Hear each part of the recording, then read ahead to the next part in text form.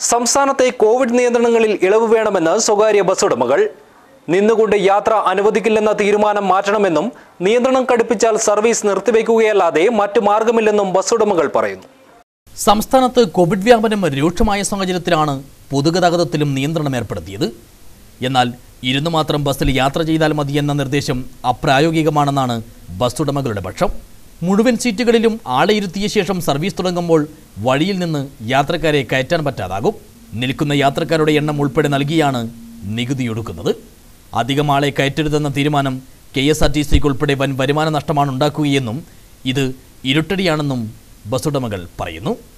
നിയന്ത്രണം കടുപ്പിച്ചാൽ സർവീസ് പൂർണമായും നിർത്തിവെക്കുകയല്ലാതെ മറ്റ് നിർവാഹമില്ലെന്നും ബസ്സുടമകൾ മുന്നറിയിപ്പ് നൽകുന്നു.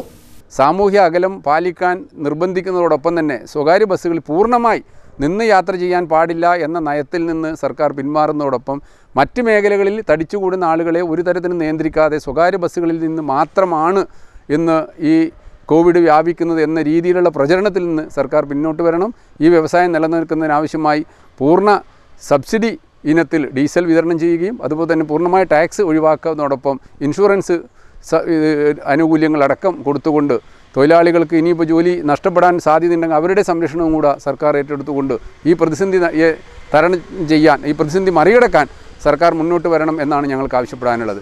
അല്ലെങ്കിൽ ഈ മേഖല പൂർണമായി നശിച്ച് ഈ അധികം താമസിയാതെ തന്നെ സ്വകാര്യ ബസ്സുകൾ പൂർണമായി റോഡുകളിൽ നിന്ന് വിട്ടുപോകുന്ന ഒരു സാഹചര്യം ഇവിടെ സംജാതമാകും. സാധാരണക്കാരായ ആളുകൾക്ക് അവരുടെ യാത്രാോപാധി എന്നുള്ള നിലയിൽ ഈ മേഖലയിൽ നിന്ന് അവർ മറ്റ് പരിപൂർണമായി പദയാത്രക്കാരായി മാറേണ്ട ഒരു സാഹചര്യത്തിൽ എത്തിച്ചേരും എന്നുള്ളതാണ് ഞങ്ങൾക്ക് സർക്കാരിനോട് അഭ്യർത്ഥിക്കാനുള്ളത്. ഇന്ധനവില വർധനവുണ്ടാക്കിയ പ്രതിസന്ധിയിൽ നിന്ന് കരകയറുന്നതിനിടെ ഏർപ്പെടുത്തിയ പുതിയ നിയന്ത്രണങ്ങൾ പിൻവലിക്കണമെന്നാവശ്യപ്പെട്ട് മുഖ്യമന്ത്രിക്കുൾപ്പെടെ പരാതി നൽകാനൊരുങ്ങുകയാണ് സ്വകാര്യ ബസ് ഉടമകൾ. News bureau Kanhangad.